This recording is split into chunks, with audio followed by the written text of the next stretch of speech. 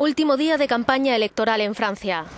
Los sondeos auguran una segunda vuelta a Nicolas Sarkozy y François Hollande. Sarkozy, conservador, está cada vez más lejos de la reelección. El socialista Hollande gana terreno en esta primera vuelta y parte como favorito. Lo que importa es la relación de fuerzas, es la idea que tenemos de una derecha sin un gran número de votos. Y eso explica la segunda ronda muy clara a favor de Hollande con cerca del 54%. Los partidarios de los dos favoritos han acudido masivamente a los mítines. En el tercer puesto, según las encuestas, estaría la ultraderechista Marine Le Pen, por delante del izquierdista Jean-Luc Mélenchon.